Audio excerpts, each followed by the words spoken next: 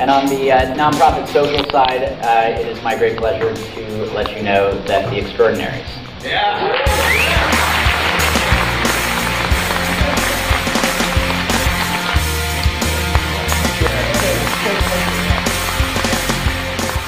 Hey everybody, it's Jacob. Um, I'm in the Miami airport. I'm heading back from a big win at uh, We Media, $25,000. And um, Ben Rigby and I just really want to thank you for all of your support and for your continued efforts uh, to make The Extraordinaries a success. So thanks. Uh, this one's for you.